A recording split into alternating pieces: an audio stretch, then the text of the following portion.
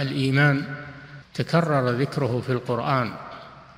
في مواضع كثيرة ومدح الله أهله ووعدهم بالجنة والثواب العظيم